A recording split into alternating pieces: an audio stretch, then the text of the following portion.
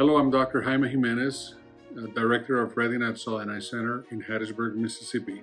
I would like to discuss a little bit about age-related macular degeneration.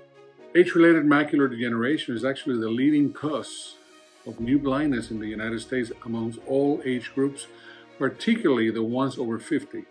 It is more common in smokers. It is more common when you have uncontrolled cholesterol, blood pressure, and also tends to run in families.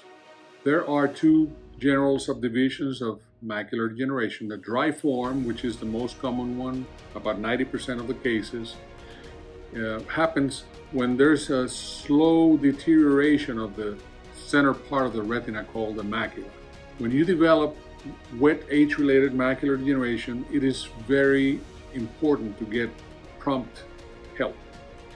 With the modern advances uh, in, in science, we are able to control, in most cases by far, and preserve uh, your vision.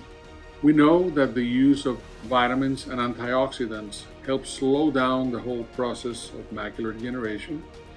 And of course, a good, healthy lifestyle is very important. Call today to Southern Eye Center at 601 264 3937. I'm Dr. Jaime Jimenez. Have a nice day.